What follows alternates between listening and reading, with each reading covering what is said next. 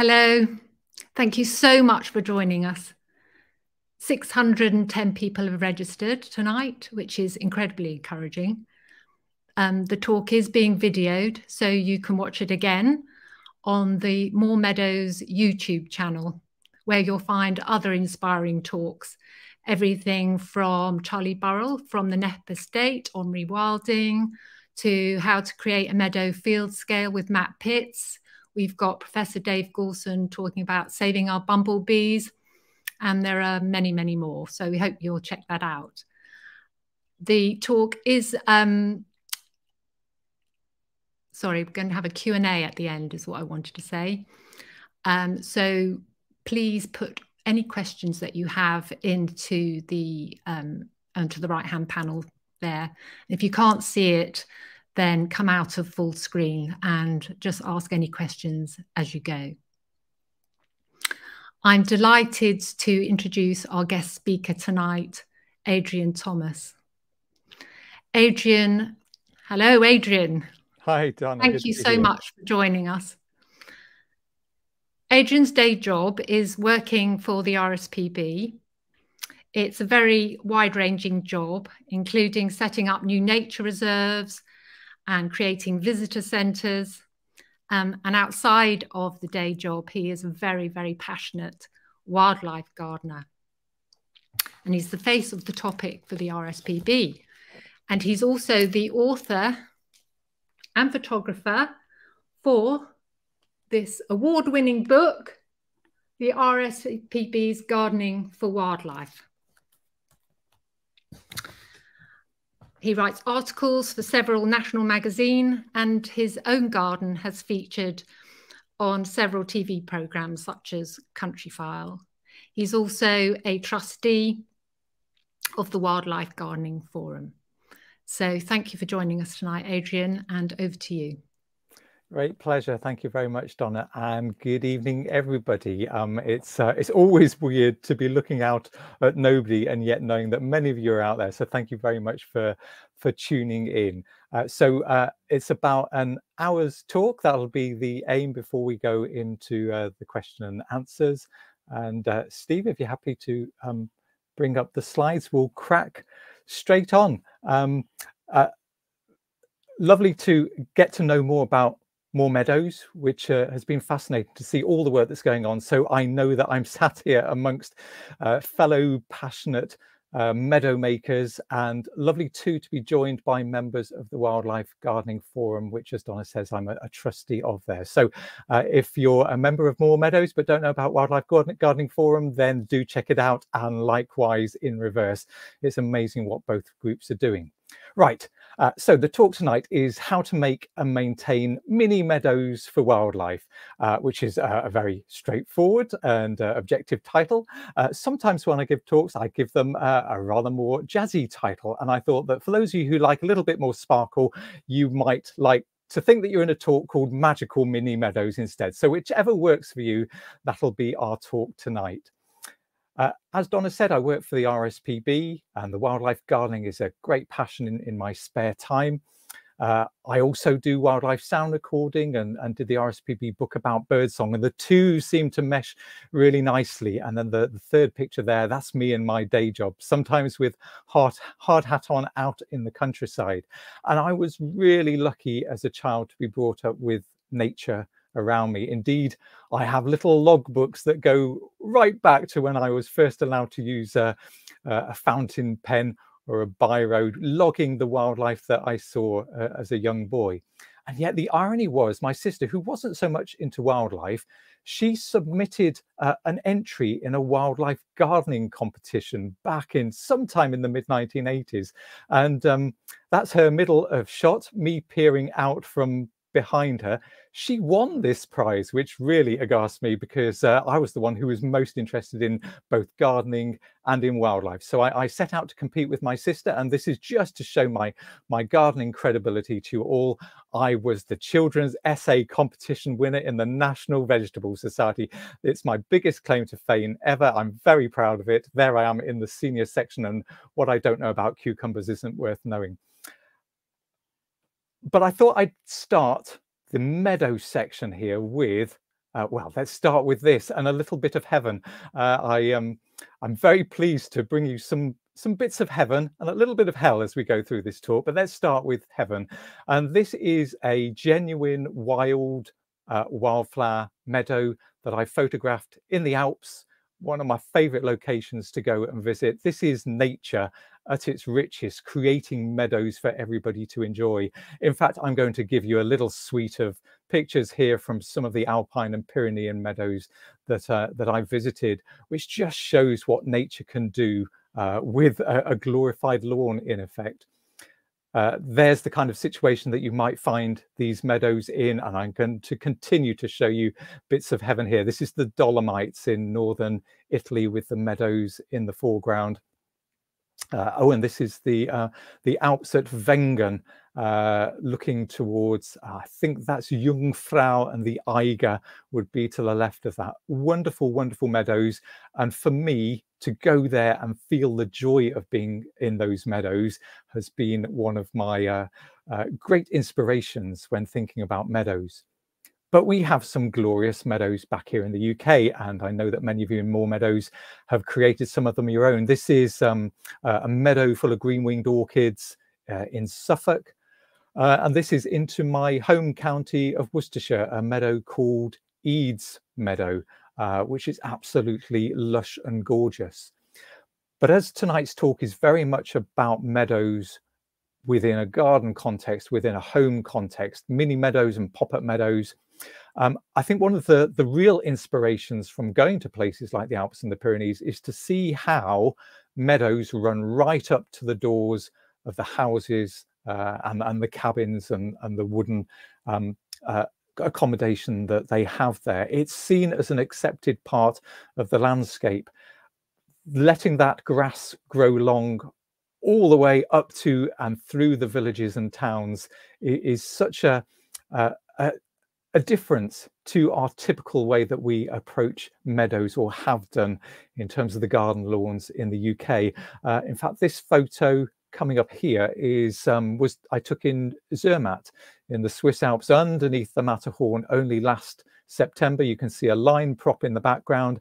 I don't know if the homeowners know that they've got meadow clary in the garden here. I think they probably do because they've allowed it to come up and, and flower, but it's just in somebody's back garden and, and a total inspiration to, to see them. And here's a little bit of hell to contrast with what I've just shown you. This was the state of the garden when I bought my current property back in 2014. Uh, I think my ideal canvas for a garden is a completely empty field, uh, and I got perhaps my second best option, which is a totally overgrown and abandoned garden. And the, the bareness of the, uh, the ground that you see here is because a third of the garden was roved by about 40 chickens over the course of about 30 years. Uh, so this is what I inherited. And I think you can probably imagine this uh, is ripe for improvement. But I thought we'd start with a little potted history uh, of meadows. Uh, 1930s, left-hand side, and that's probably uh, an ideal photo to sum up what meadows were like back then. Since then, uh, through to the 1980s, we've lost 97% of our lowland hay meadows, which equates to about 385 hectares lost every day, which uh, those of you who are in old money, that's probably around about a thousand acres lost every day over that entire 50 year period. Now, interestingly, that figure of 97% decline is the one that gets quoted, and indeed, I think it was the one that cropped up in the uh, the Grasslands episode of Wild Isles uh, on Sunday evenings with David Attenborough. Um, it is a figure that's taken from a paper that was uh, written in 1984. So the, the 97% decline occurred until then. And yet you'll still see that fact quoted in all the press ever since then. So it does pose the question, what has happened to meadows since the 1980s? We're almost um, 40 years on since that paper was written. And it's, it's somewhat more difficult to find exact stats of what has gone on since then. But the evidence is that during the rest of the 1980s and the 1990s, meadows continued to decline. They can continue to be lost, uh, ploughed up, fertilized, pesticides uh, added. Um, in many cases, the grassland is still there, but it's lost almost all of its wildflower value. And in the 80s and the 90s, somewhere between 25 and 65% of meadows are thought to have been lost during those next two decades. And then figures have stabilized since then. So it looks like the figure is probably a minus 98% figure up to the current day from the 1930s. In terms of the remaining semi-natural grassland, again, it's it's quite difficult to pin down the exact numbers, but these figures from 2008 are quoted uh, in the Biodiversity Action Plan uh, from that year, and it's uh, figures in hectares, so multiply it by about two and a half to get your acres figures, and you can see that uh, lowland dry acid grassland, kind of heathy grassland, by 2008 there are about 20,000 hectares left in England, 36,000 in Wales, 4,000 in Scotland and a small amount in Northern Ireland. Then lowland calcareous grassland, what you tend to think of as limestone grassland and chalk grassland, almost 40,000 hectares in England, way, way down on what it used to be. But um, in comparison to the other types of, of lowland grassland, uh, is, is, the highest figure there. Uh, a little bit just over a thousand in Wales, almost a thousand in Scotland. Uh, and then this interesting figure of lowland meadow, your proper lowland hay meadow down to only just over 7,000 hectares in England, only just over 1,300 in Wales, and just under a thousand in Scotland, just under a thousand in, in Northern Ireland. Tiny, tiny figures, just to give you a comparison. RSPB Nature Reserves, all added up together, is around about 140,000 hectares. So there you've got in front of you on the screen the uh, final existing resource of all of those types of, of lowland meadow left in the UK. And if there was a slide that is to illustrate why we should do something, what is the motivation for trying to do something to save meadows, there it is in, in one slide and the slide before the, the loss of meadows. Since the 1980s, there has been a, a wonderful amount of both research and champions of meadow restoration. I've put just some of them here on screen, but there are, uh, many more, and we'd include more meadows in that as well. Uh, on the left, we've got Christopher Lloyd with the meadow work that he did at Great Dixter down in Sussex. Uh, we've got Pam Lewis's book there on making wildflower meadows. Those of you who are lucky enough to go and see her garden at Sticky Wicket in Dorset before Pam uh, sadly had to um, stop looking after the garden uh, before she she died. Uh, wonderful, wonderful garden. Uh, Chris Baines's book there. In fact, um, I, I, have the the first edition of uh, Chris's How to Make a Wildlife Garden here. This is a 1985 book, so just after the point where those stats had been created about the loss of meadows. Uh, and Chris's book stands the test of time now, many editions later. Chapter six um, uh, on his book called Living Lawns and Wildflower Meadows. And he really does go through uh, a lot of the, um, the, the science that lies behind creating meadows. So the science has been in place for a good 40 years now. In fact, um, I'd probably also quote here Miriam Rothschild and the work that she did uh, to champion the restoration of hay meadows. Interestingly, Chris's book from 1985, I, have managed to find an older book about gardening with wildlife. This is the oldest one I've managed to find. If anybody has got anything earlier than gardening with wildlife from 1982 by the RSPB, I'd be really fascinated to know. Um, it does have uh, little sections of diagrams of how to make uh, wildlife friendly gardens those of you can still see my little picture on, on the screen there, little diagrams. I picked this one out because I thought it was really interesting. 1982, and it's inviting you to leave an area of your lawn to grow long and to grow around it giant hogweed and a safety barrier of ground elder. Well, advice has changed, hasn't it, since uh, since 1982. On the right hand side, we've got No Mow May and the wonderful work that Plantlife has done to champion people around the country, encouraging them to uh, create mini meadows in their gardens. I think I'm going to quote our, our king as well here because the work that Prince Charles has done at Highgrove to champion uh, wildflower meadows, I think is, fabulous. And of course, we've seen wildlife friendly gardening go from being incredibly niche back in the day of Chris Baines. Chris Baines did the first wildlife show garden at Chelsea. And when he got his award, famously, it came with uh, it had written on it that it was a wildfire garden because presumably they couldn't really believe that it was going to be a, a wildlife garden. Uh, to the present day, where wildlife friendly gardening is promoted seemingly in every gardening magazine, on every garden TV show, the, the change in the last 10 years or so is really quite phenomenal to it becoming uh, a mainstream element. But that doesn't mean there's not still work to to do to encourage the public to really embrace wildlife friendly gardening and obviously the subject of, of tonight, turning your lawn uh, or creating mini meadows in your back garden or even front gardens, of course. Now, just to say what we're not talking about here, and I know I'm amongst experts and many of you won't need to have this reiterated, but just in case we're not talking about this, let's take it on to the next slide. Poppies, uh, corn chamomile, corn marigolds, cornflowers, they're all what I term cornfield annuals. They're all annual flowers and they're not uh, what you'd see on the right-hand side, a hay meadow. And the difference is so important. Uh, the work done at Sheffield University to develop loads of the annual mixes has been absolutely incredible.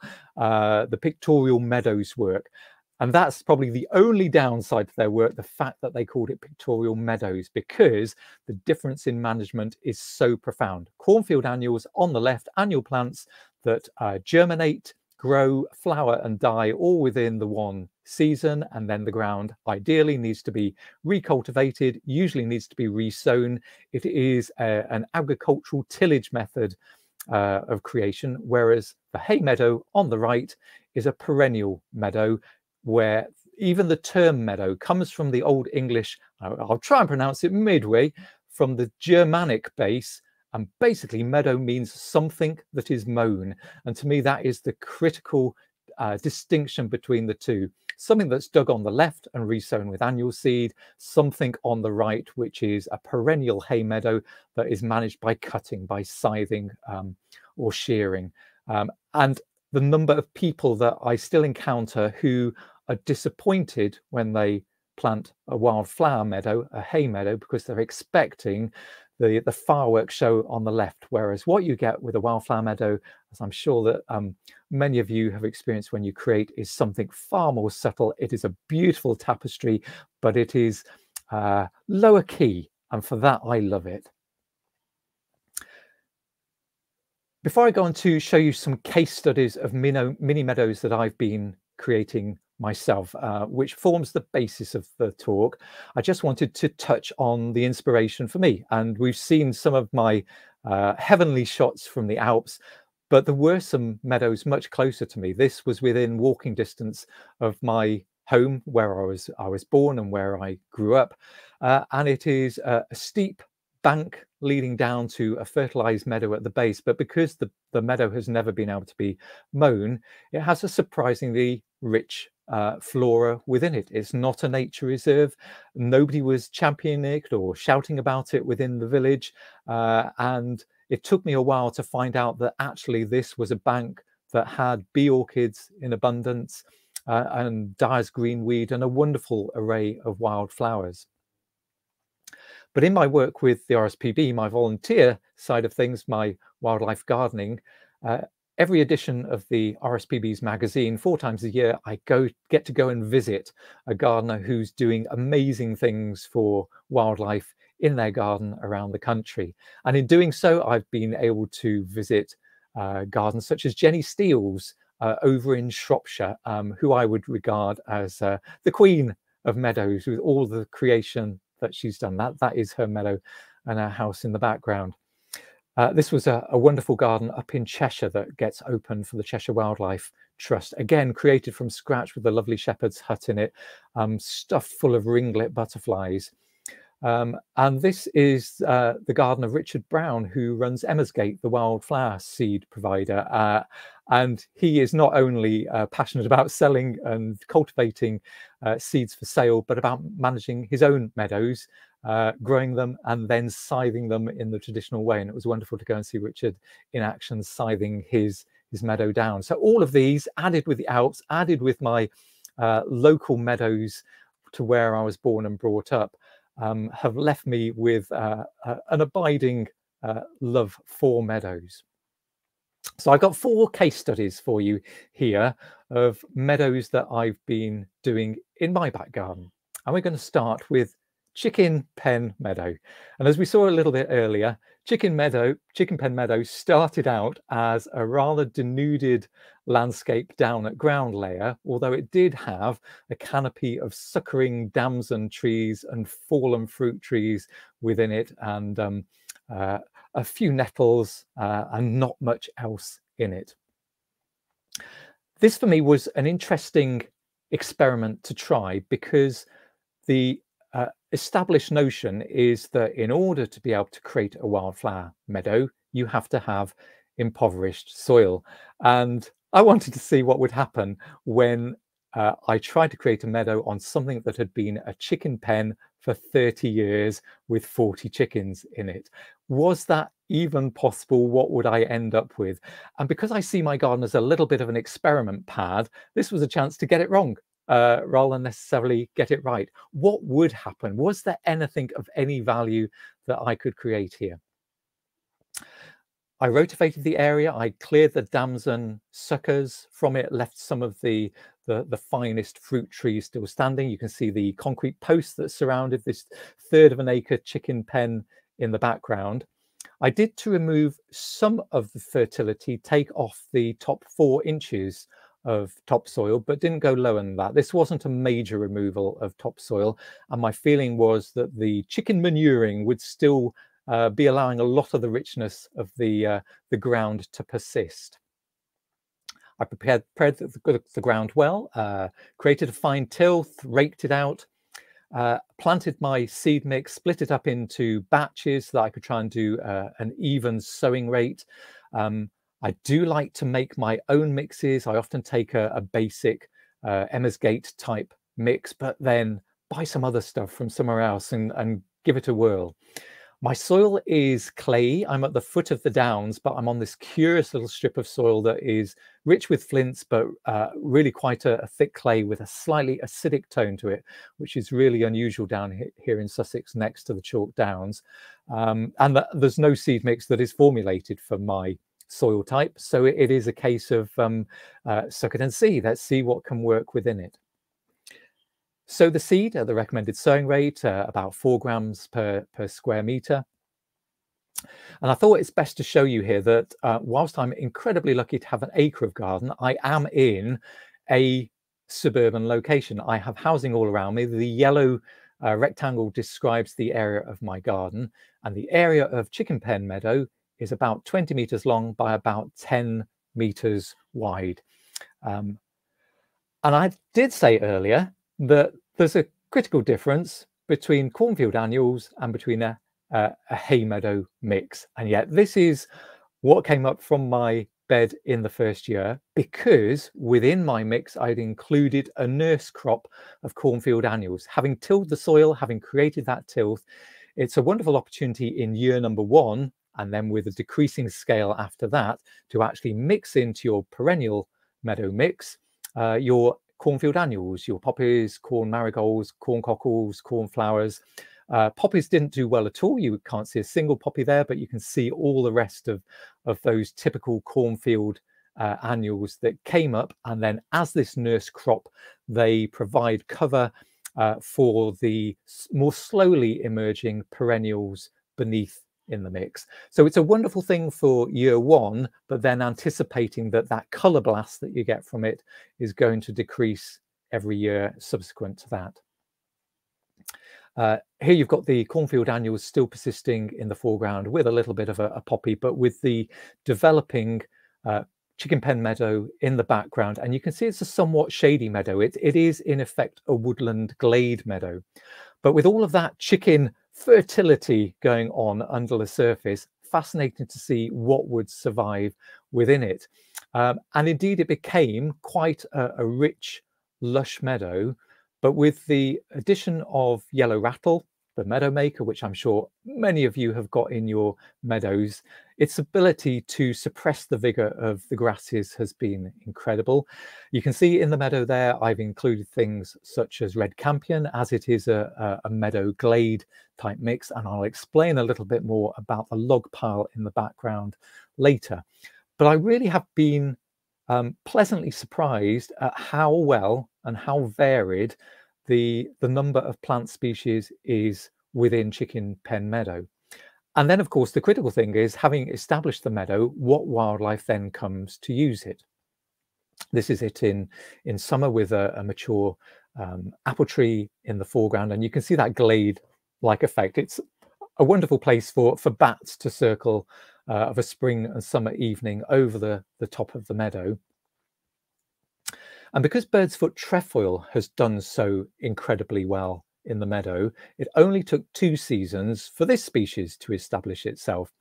On the right hand side, you've got the uh, dried chrysalis, the dried pupal case of it. And on the left, you've got the caterpillars, which um, are really incredibly showy. A little bit later in spring, come May time, I'll expect to see these caterpillars clambering up the bird's foot trefoil stems all through Chicken Pen Meadow. And you may have guessed that they emerge into six spot burnet moths. Uh, and there is now a, a, flourishing colony of the burnet moths in Chicken Pen Meadow. Uh, and you get this kind of spectacle going on. This is them on common knapweed, uh, which is doing very well in the meadow indeed. And you get these mating pairs. Uh, and as soon as you get uh, females emerge, you get the males zooming in like the one on the right hand side to them. Um, I love the fact that both the caterpillars and the adults are such showy insects. And the, uh, the science has shown that the showiness is because they're so distasteful. And that um, distastefulness comes from their dart of bird's foot trefoil. They're actually able to synthesize from the bird's foot trefoil leaves as a caterpillar. They're able to synthesize um, uh, hydrogen cyanide. Uh, and it's thought that the females pump this out as a waft into over the top of your meadow. And that's why the males home in so expertly on the females. And it, it, fascinates me to think that as I wander through and sit in and sometimes crawl through Chicken Pen Meadow, uh, I'm doing so through uh, this mass of hydrogen cyanide that's being kicked out. What also comes into the meadow, and I included in, in the mix this one of my favorite wildflowers, which is garlic mustard. Uh, some of you might know it's Jack by the hedge, food plant of the orange tip butterfly caterpillars. Um, but I was then delighted to find out that the little insect that you can see hovering above the flower there with its handlebar moustache as it, as it appears, uh, that's the meadow longhorn moth uh, one of that wonderful range of moths that have ridiculously long uh, antennae. Those of the meadow longhorn aren't quite as long as uh, something like um, uh, uh, some of the other species, but even so, they're a fabulous thing. And you get these little bouncing groups of the meadow longhorn over uh, the garlic mustard flowers. The reason being that their caterpillars too feed on the garlic mustard leaves. Uh, and then Chicken Pen Meadow has also been colonized by common blue butterflies. Uh, and the thrill of seeing a butterfly in the meadow is one thing, but the thrill of seeing a mating pair within the meadow and knowing that they feel that this is a place that is worth setting up home is, is so wonderful. Um, the only sad thing I find when seeing butterflies mating is the fact they don't get to look into each other's eyes. Uh, it must be quite distressing for them, but at least they've set up home here. Uh, to the extent that uh, those of you who've got the ability to lean in your into your screen and follow the line of my my finger, you may be able to see the little pale green dot in the middle of the bird's foot trefoil leaves there, and that is the egg of common blue within Chicken Pen Meadow. What I wasn't expecting to arrive in Chicken Pen Meadow was this, which is the small blue. Uh, it's a bird that is found down here on the the Sussex Downs, but the nearest colony to me, I reckon, is at least 1.5 kilometers away. And it just goes to show the incredible ability of wildlife to find new habitats when they're uh, created. And I always like to talk about wildlife friendly gardening, not in terms of the wildlife that you can attract, because that word attract seems to suggest that you do something and somehow it magically lures in things because of what you've done. For me, the essence of wildlife friendly gardening is creating the habitats in the knowledge that so much wildlife is so often on the move. It's on the hunt, it's heading out and it's looking for suitable habitat. Uh, and in seeking to illustrate this slide, uh, it is my toad. It wasn't really carrying a suitcase, but I like to think it was. I did go online and check out, uh, you know, when you Google things, I thought I put wildlife on the move, see if I could get a, a better picture uh, than this one. This is what came up for wildlife on the move. I love the internet, amazing. Um, but wildlife friendly garden, for me, it's not about attracting things from afar. It's about giving those wildlife that pass through a reason to stay. And that for me is what creating mini meadows, pop-up meadows in gardens is all about. It's recognizing that lots of wildlife that likes meadows goes on the wander looking for it. Most of the time through most gardens, they pass through in an instant and you never see them. But if you've given them reason to stay and a reason to think this is going to be my home, that's when you get to see them. That's when you get all the benefit as they stop and colonize the space that you've created. It's a case of saying, Welcome to paradise. You've arrived. You've arrived in the place that you really want to be. And I think the thing that caused the small blue to stay rather than pass on is that I had provided within Chicken Pen Meadow, I'd planted, sown the seeds of uh, kidney vetch, which is the sole food plant of the small blue caterpillar. Now, I haven't yet managed to get a colony established, and I'm working hard to uh, get more um, kidney vetch in the garden, knowing that I, I've genuinely got the chance of small blues passing through, and I want more of them to stop as they go through. So, Chicken Pen Meadow it's not a perfect hay meadow by any stretch of the imagination, but the wildlife that is colonizing it, uh, I'm so pleased with it. And as an experiment, I didn't know whether it would work, but it has shown me not to turn your back on any bit of soil, no matter how enriched you think it is. Okay, case study number two is my mound meadow. And when I moved into the garden, there was a line of 32 Leylandii down one side of it, which were already somewhere between 60 and 70 foot tall. And when I moved in, 30 of them were standing and two of them had blown over and landed in the neighbours' gardens, just missing their conservatory. And when I went round to meet the, the neighbours, they were under no illusion that they wanted me to get rid of that line of Leylandii. And I didn't want the next 30 to come toppling down by like dominoes when it happened. Uh, so this is the situation for my mound meadow. It's about five meters by five meters in scale. So with, the, with each little case study, we're coming down in scale. And I had all of my Ley Leylandii logs left to use.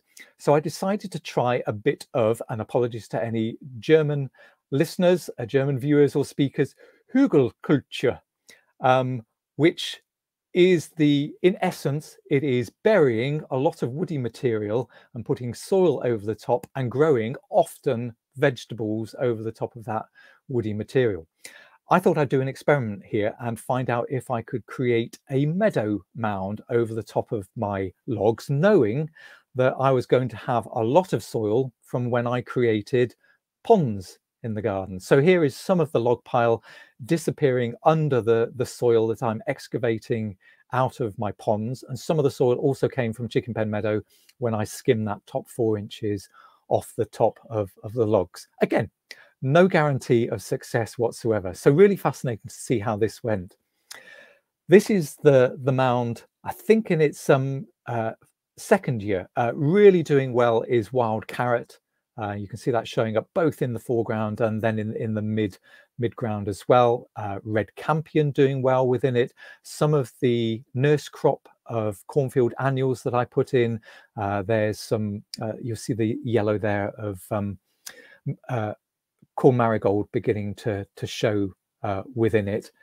And the, the mound meadow, it does a couple of things, I guess. One is that you get extra growing uh, dimensions. It might be five meters by five meters on the ground, but because you've got the, the ups and then the downs, you actually get a greater volume of surface to put your meadow onto. And what you also get is sunbaked banks on the south side and shady banks on the opposite side. So in contrast to the flat meadow uh, in chicken pen meadow, or if you're converting a typical lawn, this is was interesting to me because of that micro habitats that you're creating when you, you create a mound. Uh, mound meadow has been really good for bird's foot trefoil as well, but because it's in the sunshine so much, I see way more in the way of pollinators, uh, such as this carder bee supping away at the, at the bird's foot trefoil. But what the mound meadow has really been good at is solitary bees. I find that little bare bits of soil as the mound, uh, the, as the logs disintegrate deep within it, the, the ground shifts around a little bit and little cracks open up in it. And solitary bees, um, such as, as this one, this is one of the Andrena mining bees. Um, uh, this has the lovely that we've now got some English names for the solitary bees. I'm rubbish at remembering the scientific names. Uh, this one is its English name is chocolate mining bee, uh, and their ability to both use the cracks in the mound meadow, but also use the, the sunny, baked, south-facing uh, slopes of Mound Meadow have been uh, really impressive.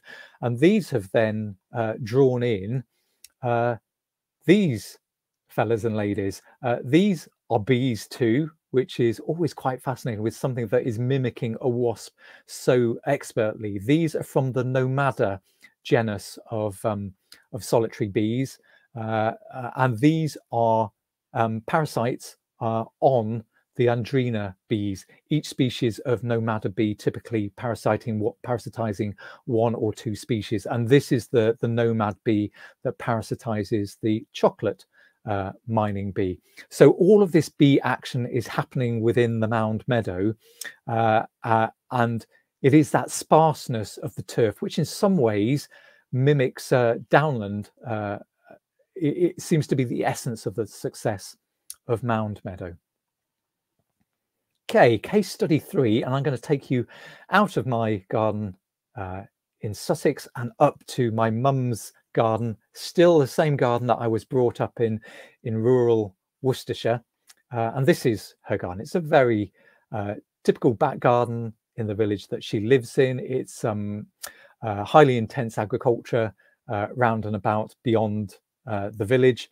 Uh, and the garden has looked like this ever since I've known it really with uh, a couple of lawns. Um, they would have been laid or sown by my dad. Unfortunately, um, my dad's passed on now and my mum can't remember whether this was from seed or from turf, but it would be, he, he was a, a gardener in the good old Victorian sense. He'd have prepared the ground, either laid turf, I would expect sowed um, the, the lawn and would have been wanting a grassy lawn from it. So there was never any intent with this lawn for it to be uh, a mini meadow of any sort. Uh, but now that my my mum is uh, losing her mobility, I encouraged her to have a little experiment out here. She likes her wildlife, and uh, I use that as the excuse for her to turn her lawn into uh, a mini meadow. And what I encouraged was no management technique whatsoever. This is what you see promoted left, right, and centre these days, which is just to leave your last uh, your grass to grow long. I marked out some squares for her because she, as you can see, she does like a little bit of formality there. The good old uh, 1950s, 1960s square and rectangular rose beds and flower beds and a square lawn and a straight path. Um, uh, but when my mum had to go into hospital last year, this is what happened when the lawn was just left for a few weeks. Suddenly, the white clover was flowering in abundance. And I took this photo, and once mum was back home, I was able to say, okay, if you just let the lawn uh, do its own thing, if you let it breathe, if you turn it into what Chris Baines would call a living meadow, then you've got the chance of seeing all the flowers and then all the bees and other pollinators that will come with it. Um, this here's a little close up to show what was growing there in the lawn. Pre predominantly white clover coming up through the grass, but some lesser trefoil. There's a, a, little bud of Germander speedwell that I can just see showing blue in the center of the picture there. Um, so I marked out the areas for my mum. Uh, her gardener came and mowed the path so she could still get to the, to the benches. And my mum was fascinated to see things such as violets bloom. She had no idea that there were violets within the lawn. This was uh, the, the two pop-up meadows as they looked by high summer starting to, to flower. I did a little check of the range of grasses and there were at least seven grass species that were within the lawn, many of which, such as Yorkshire fog that I would imagine have come in, wouldn't have been part of the original sowing or laying of, of the grass. And, and to see the, uh, the web of life, uh, well, that's corny, um, within the meadow, the, the tiny little spider's webs that showed up uh, in the morning dew within it. What my mum was most pleased about was to see that ladies' bedstraw was within the lawn. Uh, again, a plant that she had no idea was uh, being suffocated out by uh, the mower all the time, but was clinging on and just waiting for its chance to come up and flower. Now, the next slide, if I remember where I go to, right, yes, this is actually within one of the meadows that I created. And this is uh, a moth uh, whose caterpillars specialize in feeding mainly on the bedstraws and particularly likes uh, uh, ladies bedstraw. And this is the caterpillar of the hummingbird hawk moth. Uh, and my hope is that if mum continues her meadows, that she will have these breeding in her lawn. Right, final case study. We're back to my garden in Sussex, and this is what I call the square meadow. And we're down to the smallest one of these uh, example meadows. It's just three meters by three meters. It's straight outside uh, my back window. So I get to look out over the square meadow. And as with all my little experiments, I had a rationale behind this. And the, what I wanted to do was see what would happen if I laid a bog standard turf lawn guaranteed to have no wildflowers within it is it possible from that starting point to create something that has the essence of a perennial wildflower hay meadow about it? Um, because the soil was um, particularly uh, damp, I did put a, a little layer of uh, coarse sand over the top and work that in just to give uh, the bog standard turf something uh, to sit on and allow it to survive. And here's the turf after laying, looking uh, lush and even and uh, like a, a, a, little bit of a snooker table. And you can see I've allowed the square meadow to start to grow up within the middle of it. Uh, I'm a great fan of the fact that wildflower gardening doesn't have to include untidiness. Uh, the closer it gets to being manicured or sterile, then the worse it is. But nature doesn't mind straight lines. Nature doesn't mind symmetry. And pop-up meadows, mini meadows can be made to look really quite neat and tidy if that is your style of gardening and you don't want the neighbors to be um, tutting over the fence. So here's my attempt to, to do this with a bit of, of pure lawn as the grass matured, it got to the point where you could still mow the straight lines uh, uh, around it. I think it still looked really nice, uh, but you could see that there is nothing except those grasses that I inherited with the turf. Typically, modern turf that you buy has got two, three, four heavily cultivated grass species within it, which often include meadow grasses and perennial ryegrass, and, and those are there within the meadow. Uh, I think looks really attractive, but has um, some wildlife value because there is definitely a, a, mini jungle effect there. There's there's a density, there's a microclimates going on, there is a, an undisturbed nature within it. But could I now turn this into something even richer rather than just uh, a lawn full of cultivated lawn grasses that is allowed to grow long? Oh, there, there we have some of those meadow grasses and, and rye grasses within within that lawn. So here, here's the technique in action that many of you will have seen within the textbooks. So mow really, really tightly so that um, you're, you're, down to, to the barest length of grass within, uh, within the pop-up meadow. And then to uh, rake, scarify. Uh, this probably only took me, I would say for, the, for this three by three, nine square meters, took me about half an hour, I'd say, just to scrape with a, with a plastic rake uh, get out some of the, the thatch and open up some of the little pockets so that I could then seed a meadow mix into it. I did my typical homemade meadow mix. I kept this one uh, really quite uh, simple with some bird's foot trefoil and some cowslips uh, and some of the bed straws within it. Um, so not, not a, a particularly varied mix whatsoever. So that at the recommended seeding rate, again about four grams per, per square meter. Uh, and this was it by its first year with clearly greater diversity going on within it. Now the, the key plant, which is beginning to come up to the left of the bird bath there, and flower is yellow rattle once again, Rhinanthus major, um, the, the meadow maker plant. Uh, but you can also see daisies uh, and buttercups starting to come up within the mix. There's actually a teasel in the foreground, which certainly wasn't part of my, my mix.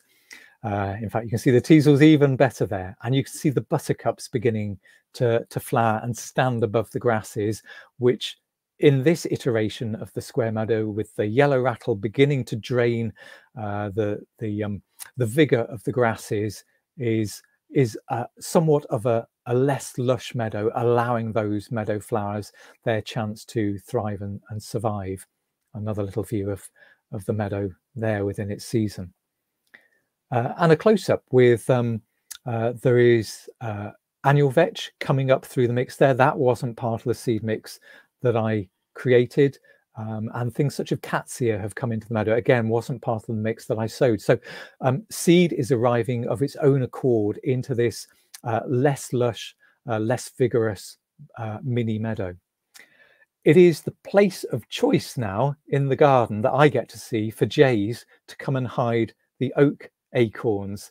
So come autumn, there's something about this meadow and the, the, the openness of the sward that allows the jays to come in and poke their acorns into the turf and allow me straight through the kitchen window to allow to, to see the behavior. And I love the fact that once they've buried their acorn, they then go and grab a leaf and place it very carefully over the position of the acorn. Whether they expect that leaf to be there to guide them to it when they come back, or whether it's a little bit of camouflage, uh, the jury is out on that one. But um, it's it's one of those fabulous bits of bird behavior that you can see outside the window in the square meadow. But it's also the place with the bird's foot trefoil um, flowering. Uh, straight outside my uh, window on the patio is another of my experimental areas where it's can you create wildlife garden in pots and i have my bee hotels there and it's here in the square meadow that i get to see uh, most of uh, some of the solitary bee behavior such as this uh, leaf cutter bee uh, nectaring on the bird's foot trefoil. They'll then go over onto some of my other plants in order to cut out uh, the leaf discs to take uh, to, the, to the nest. But I just love watching these leaf cutter bees in action. Um, they typically have underneath uh, the rear of the body, they have a brush, a pollen brush. They don't collect the pollen on their legs, but they collect them on that orangey brush under underneath the body. And yet, curiously, when they're feeding, they will quite often do this bottoms up technique. Uh, and my suspicion is this is because they're nectaring rather than wanting to collect pollen at this point. So they don't want the uh, the brush picking up bird's trefoil pollen. They'll go and get that from some more open composites, composite type flowers later on. Okay, to take us through to conclusion, I thought first of all, I just have a look at some of my favorite flowers that can uh, be cultivated within garden mini meadows on screen at the moment. Uh, you'll recognize yellow rattle, such a, a, vital plant for the job it does underground, tapping into the grassroots, but such a winner above ground too. Those yellow flowers are loved by, particularly by carder bees, but also other species of bumblebee. Uh, and then the seed pods are, are, really attractive when they go over, and it's so easy to collect the seed from it and distribute it somewhere else uh, in maybe a, a, new part of the lawn or a bit of the meadow that hasn't got a particularly rich uh, bit of yellow rattle growing in it so you can help decrease the vigor of other bits of the lawn.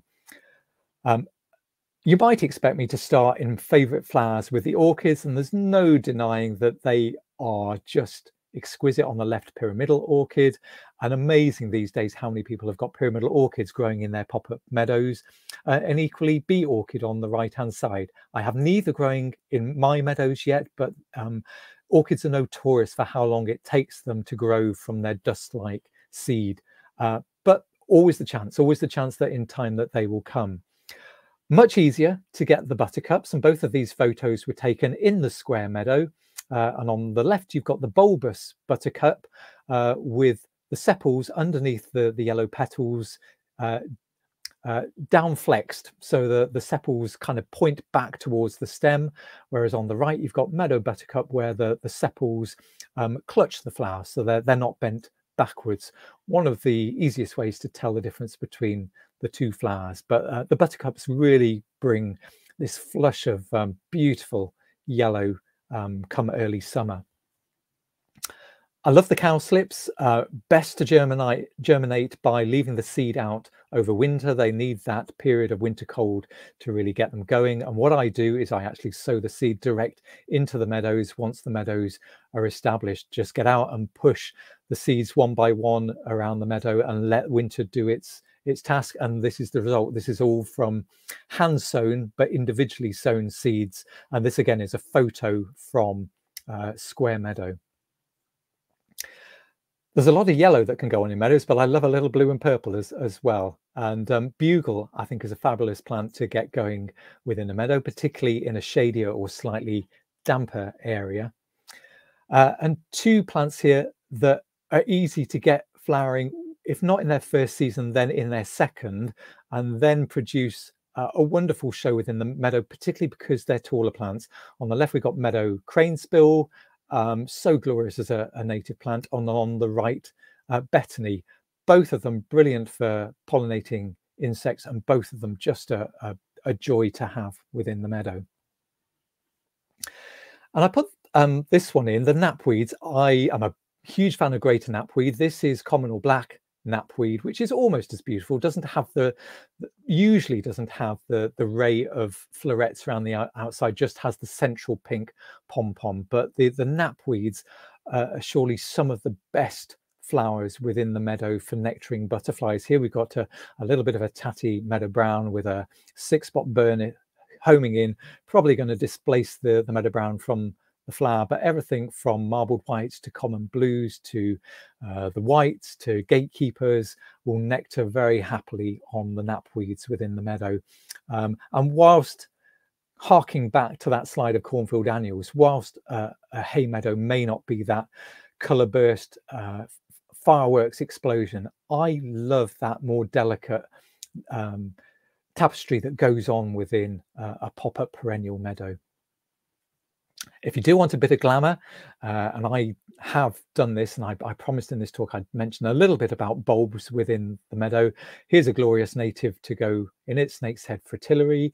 There are some wonderful native meadows out there that are full of wild daffodils. So if they can do that in the wild, I see no reason why a meadow shouldn't have that. And I, am not averse whatsoever to uh, some tulip planting. They'll normally be very short-lived within it, maybe some Camassias, um, some non-natives within a, a, garden environment meadow are not to be sniffed at at all. And so much of the research that has been done in only the last 10 to 15 years shows how there is a lot of value to be had within a wildlife friendly garden from native plants and how some from non-native plants, sorry, and how some native plants actually have very limited wildlife value. So there is no golden rule of, of native must, um, non-native must not. It's a much more delicate balance than that. And in a changing climate, I think we're going to have to ever more embrace some non-natives within the garden environment and accept that if it wasn't for uh, mankind doing climate change, if this was natural climate change, nature would have time to move uh, and plants would, would migrate effectively. I said I hadn't had the pyramidal bee orchids in my meadows, but in Chicken Pen Meadow, which is now six years old. Last year, my first florets of common spotted orchid came up, sown way back in 2015 16, and it's taken that long for the seed to get to the stage where it can produce uh, a noticeable um, leaf floret. And last year I did indeed get two flowers off it. My joy was unbounded. I don't do it entirely for orchids, but um, what a thrill to get orchids in the meadow. I thought I'd add in a, a, short section about mini meadow problem solvers. And in doing the experimentation, I certainly have encountered some of the problems that um, you can face out there. And the first one is flopped or flattened grass. This is the square meadow in its first year. And I showed a previous photo with all of that bog standard grass flowering stood perfectly upright. And then I woke up one morning to find it looking like this. All of that lushness flattened by this. Uh, and uh, this has uh, recurred in any of my meadow areas which have grown to be exceedingly lush. The foxes have adored rolling in it. I think it must be uh, a, a, bit to do with bathing and a, a, a, bit in some of the other meadows. Maybe some of the smells that come off the meadow uh, plants is good enough, but it kind of shows how a getting to a point where the yellow rattle has decreased the vigor is an important element of it or if you have a lush meadow because you have a really rich soil is actually not letting it get to a really uh, uh, tall stage where either foxes or weather winds and rain can batter those grasses and in doing so smother the ground and in effect create this this thatch over the top of it. If i have lush, lush meadows now I actually go out and graze them. Um, not with my teeth, you'll be pleased to know. Um, I find it really therapeutic to sit, sit next to a meadow and just tug as a, a, cattle would do and, and tug at any of the, the lush bits that are there and graze the meadow down. Um, it's easy to do. I don't get tired doing it because I'm, I'm sat on my rear end doing it and um, you get to be close up with the meadow. Um, so I would recommend with any meadow area that grows really lush, don't just leave it uh, to the point where it flops, but take away some of the grass. And in doing so, take that onto the comp compost and reduce the vigor. And year by year, that vigor will decrease. And with the help of yellow rattle, should get you down to a, a manageable meadow that the foxes don't get to rain bathe in. There is that question that comes from folk that when you do get to the point of mowing the meadow, um, how unsightly the brownness is. Um, to me, this is part and parcel of the annual cycle of the meadow. This is how hay meadows would have been in the past. And there is exactly the same shot two months later, and nature's done its best. I haven't watered it. It wasn't a particularly wet summer, but grass is fantastic about um, uh, restoring itself after a dry period. Um, so I encourage people just to enjoy the process. Uh, a, a dry yellow cut meadow would have been what uh, all of our forebears would have experienced in the past, and then nature does its best at restoring. I've got this slide in because um, it's an intriguing one. Um, I love the fact that there's so much public attention on uh, creating mini meadows these days, but there is still a place for short grass.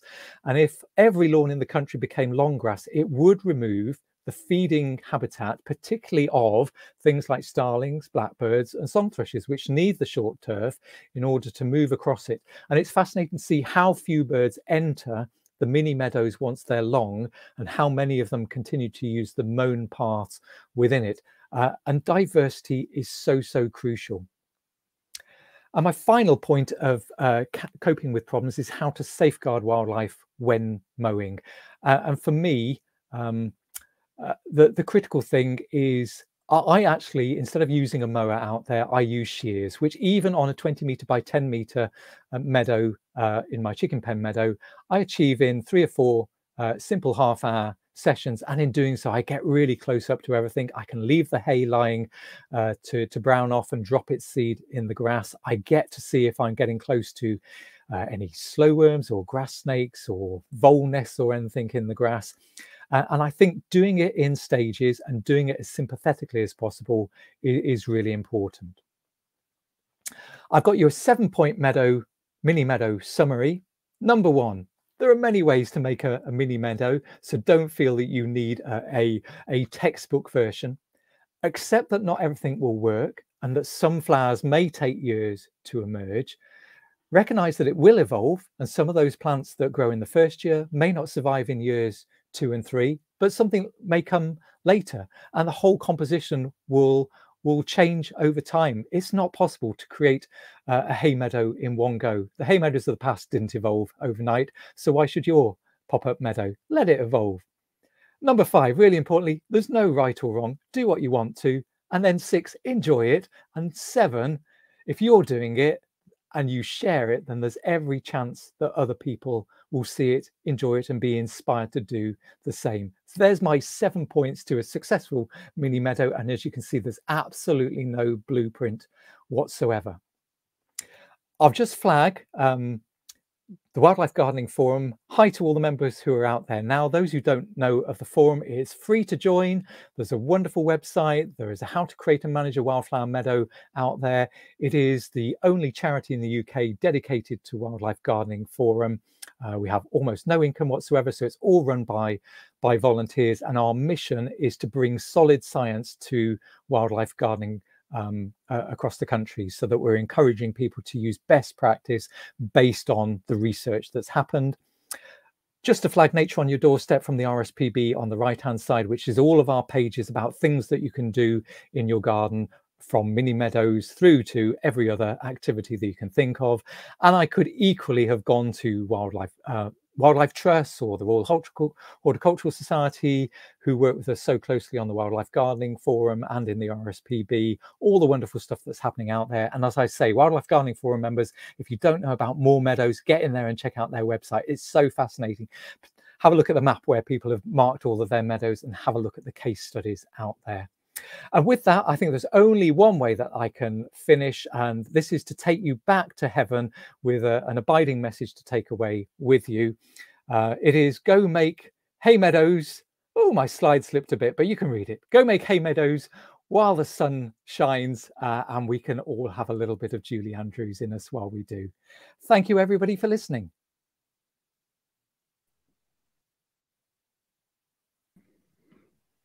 Adrian, Thank you so much. That was a fabulous talk. It was incredibly engaging.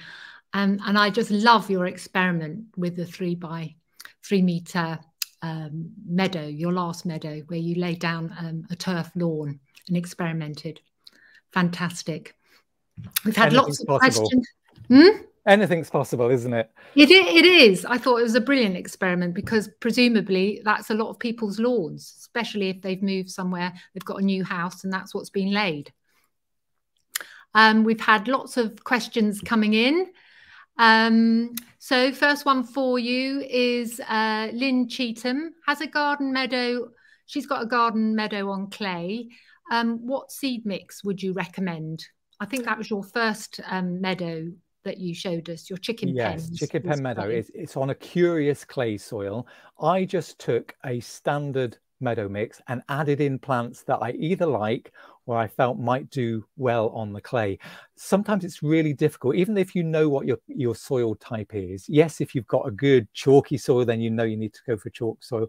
Um, in this case, I would go to one of the seed suppliers and you will find a clay mix within most of the good suppliers out there.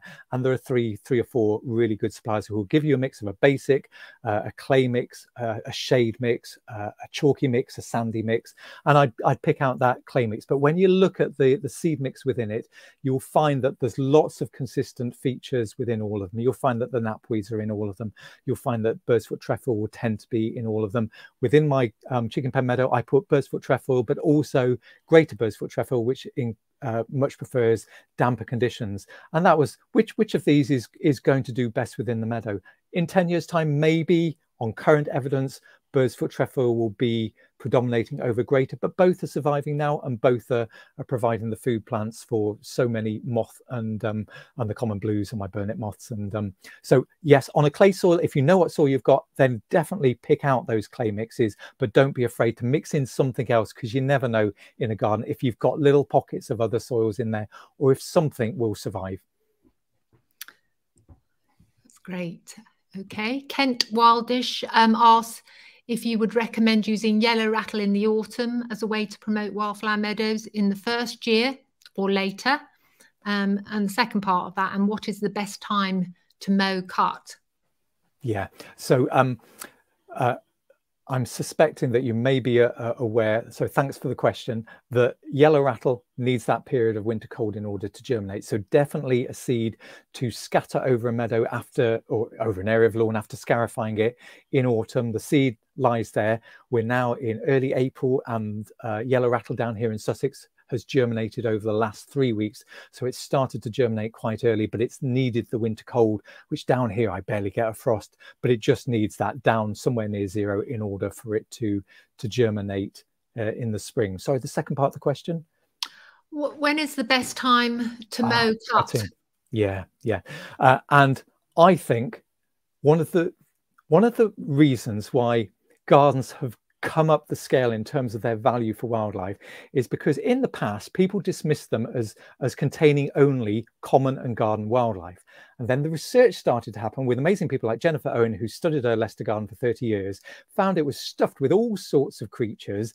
Attention went on to gardens and we suddenly found that it's full of all sorts of interesting creatures.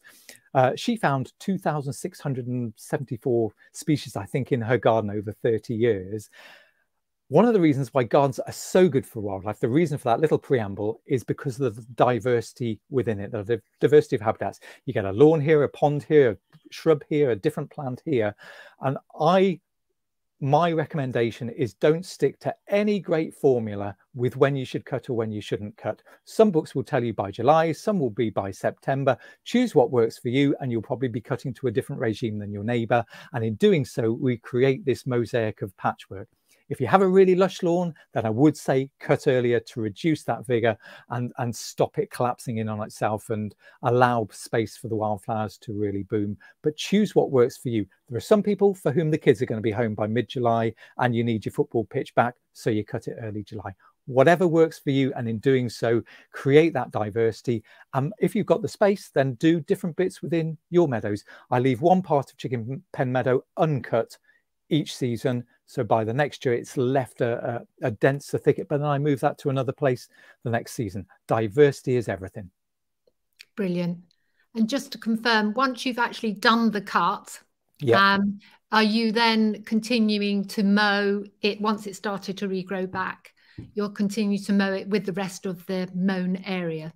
So I I leave the, the cuttings where they lie on dry days for maybe three, four, five days to allow any of the seed to, to dry and be cast from the seed pods. Collect that all up. I actually create a hay stook rather than try and compost it. Why not? They do that in Romania uh, in traditional hay meadows. So I, I create another habitat and uh, my uh, short-tailed field voles seem to love my, my hay stooks. And then I, I, in my meadows, will typically start cutting August time, but spread it so I'm still cutting in September.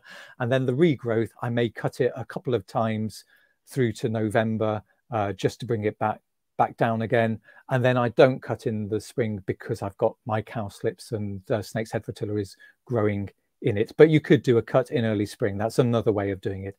All sorts of different ways. This thing about there is no absolute right or wrong holds so true. Great. Thank you, Adrian. Um, Titania asks, how do you know when to manage and when to leave alone? She says she's now, well, you've, I think you've already answered this. She's now always paranoid that she will destroy lots of mini bees when she does anything in the garden. Yes. But that you have answered that. There is inevitably with a effectively a, a mowing system, whether you consider that it mirrors an agricultural system or whether you consider that it mirrors wild animals grazing, something, some larva, some caterpillar, some egg will be lost in that process. And what you're relying on I mean, it, it, pains you, doesn't it, to, to think that that's the case. But whenever you garden, you're destroying something. But if your overall aim is to increase diversity and increase the populations of everything, that that's the feeling that you have to go with and try and manage that meadow in a way that limits that damage. There is a popular TV host, gardening host, who advocates cutting your meadow as close to the ground after it's established that is definitely not good practice you're taking away so much so much potential uh, larvae, eggs, creatures within it. Um, so never take that meadow down to the layer that you would with a lawn after you've done that meadow creation, close cut and scarifying. That's the last time that you scalp the lawn. After that, you're taking it at a really high level. And with the shears, as, as, I say, I love it. I've been amazed how, how easy it is to do a 20 by 10 meter with shears over a few sessions. And as you go in, uh, it comes out a little bit higgledy-piggledy, but you know that you're allowing creatures to escape from it and you're seeing any issues as you arise. You leave the hay in place. That allows more creatures to go back deep into it. And so many things like butterfly moth caterpillars have evolved that where they feel the ground being moved, they feel hooves or they hear the crunching of, of, uh, of, of the mowing, your shears, they drop into the turf. Um, they just fall from whatever grass blade they're feeding on because they don't want to be eaten by cows or deer or, or ox or whatever was grazing in the path. That's their defense me mechanism to get right down to base level. Great. Katie Smith asks if you always recommend checking soil pH and composition before starting, i.e., picking your seed mix. Um, if you can, yes. I find that some of the seed, and here's, here's me with my experience as well, some of the seed pH kits give me really inconsistent results. So um, if you can, it's best practice to do so. Then you can pick your right seed mix. But I would always say that even if you've done the pH, picture mix, why not chuck something in that isn't doesn't quite fit the specification on your pH tin and see how well that does because it may surprise you. And the stuff growing in my slightly acidic um, chicken pen meadow, for example, that shouldn't be growing there, but seems to be doing absolutely fine within it. And I think within a garden environment, knowing the history of what's happened there is so difficult. Who knows what happened in my urban ground before uh, I got there. So I anticipate there are pockets of different pH in different places. So great starting point, absolutely agree, but don't feel that you can't then do a bit of experimentation after that. Okay, next one. Someone asks, is it possible to make a meadow where mass dandelions already dominate? um, uh, so I would say yes. I would say that the likelihood that dandelions will continue to dominate will be pretty high. Um, but uh, I've just done uh, my latest article for uh, one of the magazines, uh, and I put in my top 10 plants in there, of which dandelion is in my top 10. And in part, it's to be provocative uh, because it seems to be such a, um, uh, in so many gardeners' minds, a maligned plant. And yet, it's such a fantastic plant for pollinating insects early in the season, one of the best ones for early emerging solitary bees. Uh, it's one of those generalist moth caterpillar leaf types. Just as your tortoise will eat it and your rabbit will eat it, so will so many different types of moth caterpillar. And the unripe seeds are a brilliant source for goldfinches. Uh, well in advance of the first teasels coming on. So I would say um, do what you do in creating uh, another meadow. Meadow seed mixes aren't particularly expensive. It's not, you know, you can buy um, a packet that will cover really quite a large area for the price of a single pot plant and just give it a whirl and, and, see what you can create with a bit of scarification, with a bit of hand weeding. I do hand weed in, into the meadows. If you have to weed a flower, flower border, then inevitably you have to do a bit of weeding in meadows. I take out teasel, I take out uh, most of the ragwort that goes in just so it doesn't take over. It's probably only an hour's work over the course of a whole year to do that spot weeding. I see myself as a particularly picky cow that likes teasels and uh, ragwort when I, I go in there. I see myself as a herbivore that goes in and uh, and takes what I want for my for my salad, and um, uh, that's what I recommend that you do with your your dandelion crop. But enjoy the dandelions and see what else you can get in amongst it. Great. Um, Titania asks, is it possible to create a glade meadow for dry semi-shade? Yes, absolutely. Chicken pen meadow is that. It has some sunny spots in it, but there's no spot that gets the sun all the way through. That clay dries out incredibly. You might, you might with your dry shade have uh, sandier soil. Um, it, it is that case of going to a seed merchant, uh, a good wildflower seed merchant, and you will find shade mixes in there, which have some of the grasses that are more suited to a shady environment, and then things such as the red campion and uh, the garlic mustard that you saw in the slides, which are likely to create quite a different effect, almost like a, a under hedgerow type effect around the, the shadier parts of that, that meadow. So it will look and feel quite different than one that basks in sunshine, but will then create the conditions that creatures of of dry shade enjoy. It will probably still have a bit of sparseness in it. When you read the books, it says that yellow rattle doesn't do so well in shade. It does absolutely fine in my my shady areas. So it is a give it a go again with this thing that um, a seed mix, um, when I go to a garden centre and see how much plants are individually these days and look what, what you can get, how many plants you can get and what area you can cover with a meadow seed mix, uh, it's, uh, it's surely one of the best things to try. Uh, you're not going to lose much and you're going to gain loads. Okay. Jill Gardner asks um, if you ever include grasses in your seed mixes.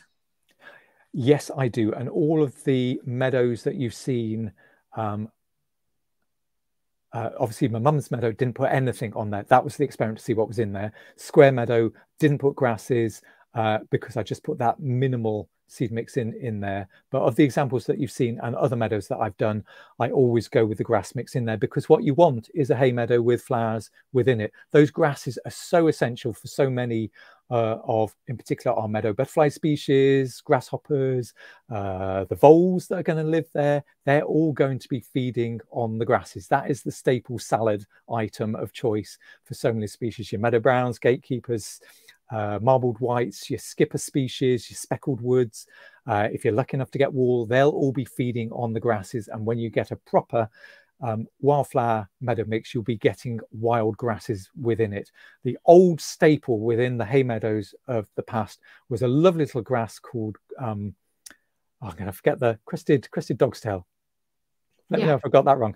Um, me and names. Uh, um, yeah, Thank you. Uh, and you'll get sweet vernal grass in there, stuff that you'd never get in a normal lawn. Um, you typically won't get things such as Yorkshire fog, which can grow very densely, uh, and you'll get, um, uh, yeah, you'll you'll get that native grass mix that you just won't get in a roll of turf from B&Q. Um, typical mix will be 80 grass, 80%, 20% wildflowers, and that's enough to give you the diversity within the meadow. Okay, next one. Lots of questions. Very good questions. Richard Turkington says that he planted uh, an annual and perennial mix a couple of years ago in his front garden, and yarrow seems to be taking over sections of it. He likes yarrow, but wants to keep it in balance. Any yeah. suggestions? Uh, this is where I would get down on my hands and knees on my kneeling pad. Now I've got to my age, uh, and I'd I'd weed out. I'd hand pick out uh, the yarrow, opening up little little gaps, uh, sprinkle a, a, little bit of mixed seed, and on that I would probably put uh, little bits of the seed that I really wanted. I'd probably buy the individual seed packets to try and give me uh, what I wanted, uh, and it is. I found it amazing what can be achieved in half an hour. And while you're doing it, you see things that you've never seen before. You find plants. Um, I remember sat weeding my square meadow and I realized that some eyebright had come up in, in the mix. I never sowed eyebright. It's another of those semi-parasitic uh, species, not, not as showy as yellow rattle, but does more to suppress the, the grass growth. I don't think I'd, I'd have seen it unless I was down there picking through, getting bits of teasel, getting bits of ragwort out of there. And I would do that with, with the yarrow and not expect nature in the early days to give you exactly what you want. I think that the uh, the human hand can still play a part because this is your garden and this is this is your playground. Sheena Macaulay says she hasn't mowed her meadow from last year. Um, should she should she cut it now, basically mow or scythe it before the new flowers appear? I would. To cut grass. Yeah. As, as, I say, there's no absolutes here. If you leave it to uh, tall this year, the likelihood is uh, that um, the diversity will begin to get lost. It's beginning to head towards rank grassland if it's left. If you like it now, as I say, there's no absolute rules whatsoever. If it was my meadow and I, just hadn't had a chance to cut it, I would take it down now because it'll allow the fresh growth to come up. It'll allow the smaller flowers the chance to see the light and see the sun and, and flower, and you'll probably maintain your diversity better for it. Remove the cuttings, they can go onto the compost uh, and see where it goes. And it's definitely not too late to do that now. Um, and Christine Jackson has a question about yellow rattle. If she introduces it to um, her grass and the village green, would it spread rapidly to neighbouring pasture land where it might not be welcomed? Ah, okay. Uh, so the likelihood is that really rich um, pasture land is fertilised and that creates such lush, lush growth in the grass. That is exactly why we've lost so many meadows. They were ploughed, they were fertilized and they had herbicides put on. Those were the three real reasons why we lost so so many of the, the meadows. And the act of fertilization to create the lush sward, the grass just outcompetes, including the, the yellow rattle. So um, yellow rattle has quite a heavy seed. If you put it in uh, a garden environment, it'll take quite a long time for it to get knocked and brushed and um, the foxes to uh, flick the, the seed heads, but it's not so much a windborne seed that's being picked up and moved long distances. It would struggle really to make it across hedgerows. Before going and doing it in a public space, make sure that the uh, the owner of that space knows and is in agreement with what you're going to do there. But uh, I think the risk is fairly low, both of it arriving in the, in the pasture land uh, in the first place, but secondly of it persisting if that pasture land is being maintained in any kind of an intensive way. That's exactly what technology uh, allowed uh, the decimation of our, our meadows uh, to occur through. Great. Both Alison and Laura ask, how can you combat mare's tail weed? Would yellow oh. rattle help? It doesn't. Uh, yellow rattle doesn't tap itself into into mare's tail. Uh, it's one of those curious garden weeds. You don't see it in huge abundance out in the countryside, and yet uh, there's something within the garden environment that seems to suit things such as mare's tail, ground elder, uh, bindweed. You'd, you'd think from how well bindweed, greater bindweed, does in the garden that it should be smothering the, the landscape, and yet it doesn't. And there's something about that turning of garden soil and the richness of garden soil that seems to suit them.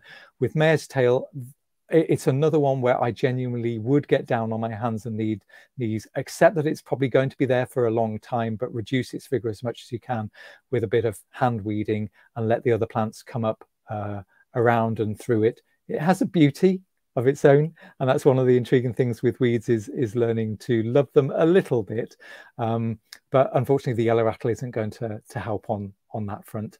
It is yeah, hand of man doing a little bit of um, uh, weeding and editing. Okay, a few, just a few more. Scully Bold would like to try to collect local um, seed and they've seen some cuckoo flower growing in a field nearby. How and when could they collect seed from it? So uh, first of all, just ensure that you're not on a, a triple SI um, or a, a, protected space where collecting seed may be um, not permitted. Um, collecting seed is a, a curious uh, thing, and I love to do it. And there's a, um, a, a, huge number of plants I have growing in the garden that I've collected as seed from the wild. And the seed collecting season, um, I think in my naivety 20 years ago, I'd have thought it was autumn when you do that. But so many flowers are setting seed pretty soon after they have flowered.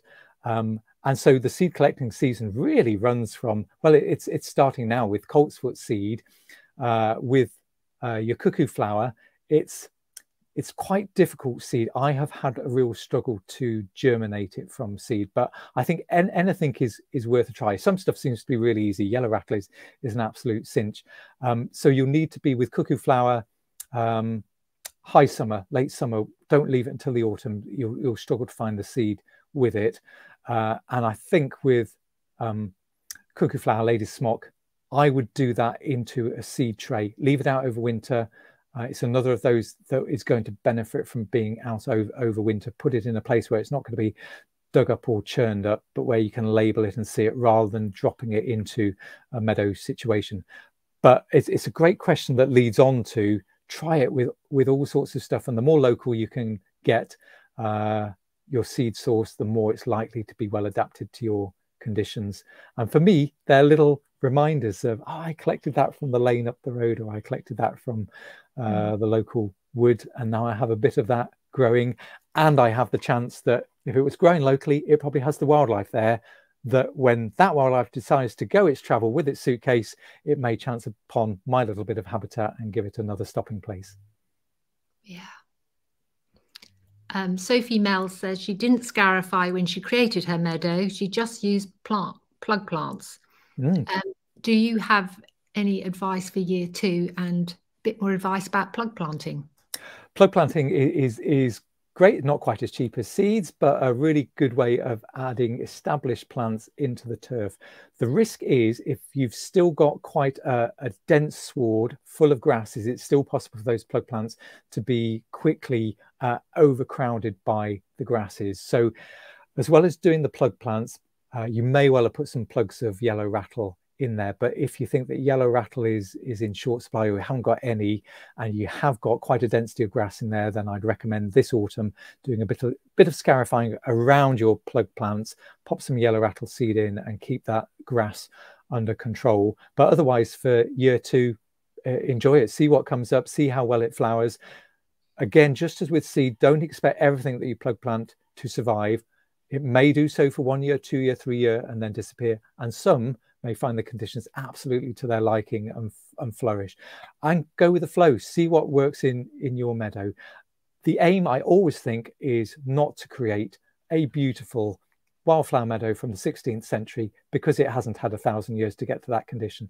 Create what you can, enjoy what comes, increase the diversity wherever you can, um, but um, knowing that what you created is going to be far and away better than what it replaced. Brilliant. Would you recommend plug planting if you go down that route in the autumn or spring? Both are fine, absolutely fine. Um, uh, if you come into spring, then there is uh, a greater chance these days of dry spring periods, and you'll probably need to keep them watered because it's possible for that that plug to really shrink within its hole, and therefore the roots aren't getting out into the soil around them. So spot watering of the plugs that you've done will help them establish. In autumn, it shouldn't be so much of a of an issue unless we get a, a bizarre uh, Indian summer. But yeah, either is fine. Okay, right. I, so our last question um, on dandelions again. Uh, Malcolm Wilkinson asks, why have the dandelions almost entirely gone from the meadow over 10 years of management? Hay rattle and many other flowers well established now. Yeah, okay, that is interesting. Um, so dandelions very typically are one of the few flowers that seem to be able to cope with the lushness of turf when it's been fertilized. And it may well be that the decrease in fertility as you've taken away the, the top growth year by year. And it, it's so important to seek to decrease, even though that old rule of you can only do meadows on low fertility soil. I think we can put that to one side. You can do you can do your pop-up meadow and it's going to be valuable on any soil. But then when you take away the top growth every year that you cut, you're removing nutrients the slide that I showed of Richard Brown doing his meadows uh, over near Spalding in Lincolnshire, he's done a, a meadow on really lush soil, taken the, the material away, and after 10 years, he is still getting um, lush growth, not as lush as it was, but it's giving evidence that to reduce the fertility can be 10, 15, 20, 25, 30 year job. But it's quite possible, Malcolm, that um, you've reduced the fertility enough that dandelions aren't sucking up the, those nutrition and creating those smothering rosettes of dandelion leaves, uh, the, the teeth of lion's leaves that um, is so good at smothering other plants. So um, I'd say that that's doing fine. There are going to be plenty of other dandelions around uh, and about, but that that's what I would put it down to. But as I say, meadows evolve, and some of it is probably a mystery, and I'm quite happy that it remains that way. Thank you. I think that's all we've got time for in terms of questions. Um, I'd just like to say that um, before we go, is our next talk is a celebration of wildflower meadows with George Peterken, author of Meadows, the definitive guide. Um, that's taking place in South Devon. So really it's for people who live in, in South Devon. But um, it's the 15th of April at 7.30. Um, details are on the Moor Meadows events page um, on our website. Uh, that talk will also be recorded and will be uploaded to our Moor Meadows YouTube channel. Um, finally, to say we have an online community forum it's called the Meadow Makers Network. It's free to join and it's for everyone who's interested in making meadows. You know, that's whatever the scale. So it's mini meadows or landscape scale. And so please check that out on the forum.meadowmakersnetwork.org.uk. Um, and just want to say thank you, Adrian. That was a fantastic talk, some really good questions from the audience and some brilliant answers. Um, thank you for joining us. And just like to say thank you to everyone who's joined us tonight and to Steve, who's um, behind the scenes. So hope to see you again. Thank you. Thank you, everybody. Bye. Bye.